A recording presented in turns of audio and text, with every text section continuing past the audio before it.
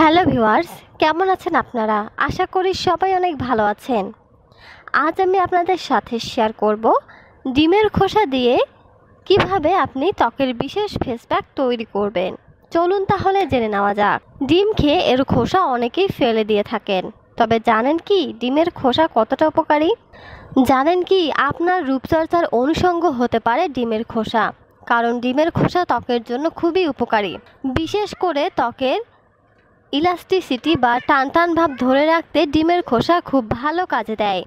এছাড়া ত্বকের বলিরেখা দূর করতে এবং ত্বকের টেক্সচার উন্নত করার কাজে ডিমের খোসা খুবই উপযোগী।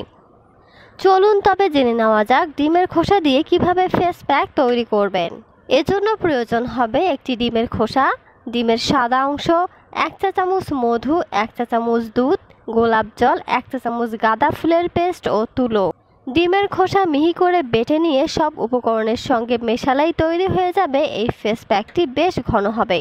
আপনি দেখবেন যে এটি পাতলা হয়ে গেছে, তাহলে সামান্য বেসন মিশিয়ে ফেস প্যাক ঘন করে নিতে পারেন। ফেস প্যাকটি ব্যবহারের এক ঘণ্টা আগে ফ্রিজে রেখে দিন।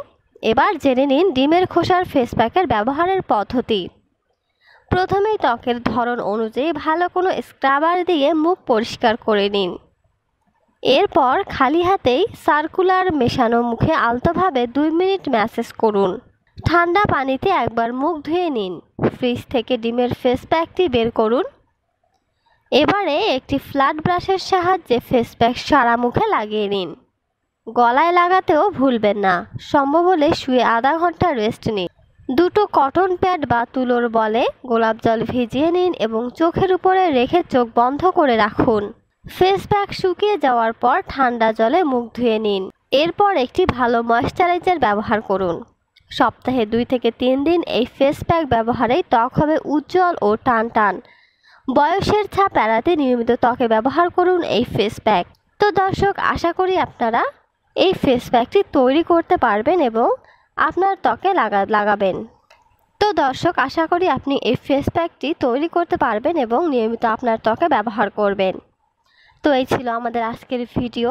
ভিডিওটি ভালো লাগলে অবশ্যই একটি লাইক দিন এবং বন্ধুদের সাথে বেশি বেশি করে শেয়ার করুন। সবাই ভালো থাকবেন, সুস্থ থাকবেন। ধন্যবাদ সবাইকে।